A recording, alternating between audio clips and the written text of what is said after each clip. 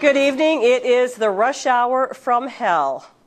This is our live shot of the 417 taken from our camera on top of the baseball stadium at the Vanier Parkway, where traffic is finally starting to move. Ottawa police tell us tonight parts of the city, though, are in complete gridlock. It's taking drivers up to an hour and a half to get out of the downtown from Parliament Hill to the Queensway. Almost two hours from the downtown core to Kanata and Orleans. That is a two to three hour commute home for some. CTV's Vanessa Lee now on the latest on the strike that's led to this traffic chaos. Rush hour is bad enough on the best of days. Add a transit strike, and it can be even longer and more grueling than ever.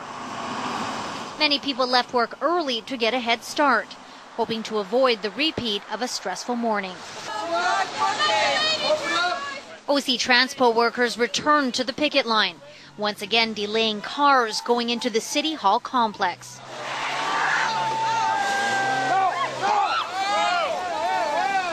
That's it, that's it, that's it, you're done.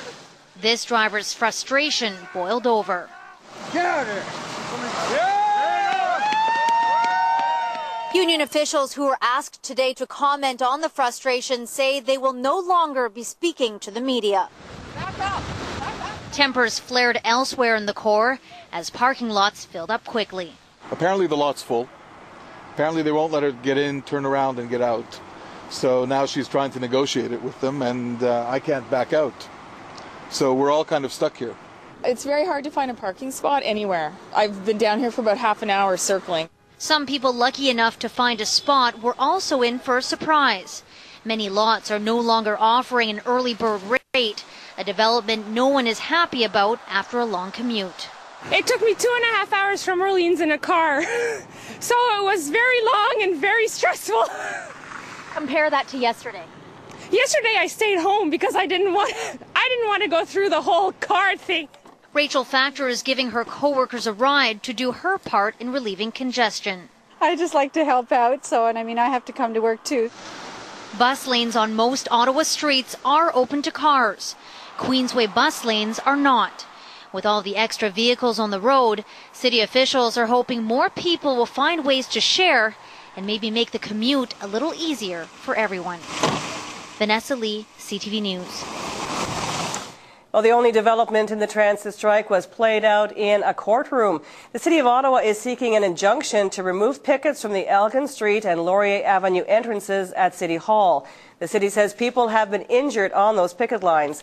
And the Ontario Transportation Ministry is concerned about backups leading onto the Queensway. As drivers battle gridlock tonight, the union and the city are waging their own war, a public relations battle that only one side can win. CTV's Joanne Schnurr now with that story. For a guy who sells cars for a living, Stefan Polachuk has a lot to say about buses, and in particular about the head of the bus union. To me, the union leader needs to be changed. That is definitely not a professional guy. My 12 year old daughter can answer better questions. Dana Clark believes the strike is designed to hurt the public. I feel sorry for the bus drivers, and I don't like the unions manipulating everybody because it's not worth it. Nobody wins in a strike. It's pretty hard to win the public relations battle in a strike, especially when people's lives are being impacted. Add to that a crumbling economy, inconveniencing people. What's wrong with that? and what many perceive to be an unsympathetic union boss. Andre is an incredibly passionate individual, and sometimes when he when he uh, makes certain comments, it's it's um, picked up the wrong way. There's solidarity among the trade unions and among picketers who were concerned yesterday their message wasn't getting out. Everybody's telling, saying we're making 100000 a year. Nobody makes 100000 a year. A few, few guys do, but they're working their, their ears off to make that kind of money. Today, the message was to keep mum. We were told that if the media wants to talk, to talk to Andre Cornellier because there's too many stories going out. And the problem is the media is putting out whatever they feel they want to put out, and the wrong message is being put across. The Amalgamated Transit Union says it's no longer doing any interviews with the media. It's preferring instead to take out newspaper ads to tell the real story. Stefan Polachuk doesn't really care how it's all handled as long as it's resolved. We are in a miserable world right now. Let's put our heads together and get out of this mess. Joanne Schnurr, CTV News. Alain Mercier is General Manager of OC Transpo. Mr. Mercier, have there been any attempts to get the two sides back to the bargaining table? No, at this time we're still waiting for a signal from the union. What kind of signal? Uh, to whether they want to get back to the table and try to get everybody back to work. Perhaps maybe tweaking the offer a little bit would do that, do you think? Well, I think first of all we have to sit down and understand what the principles of uh, moving forward would be.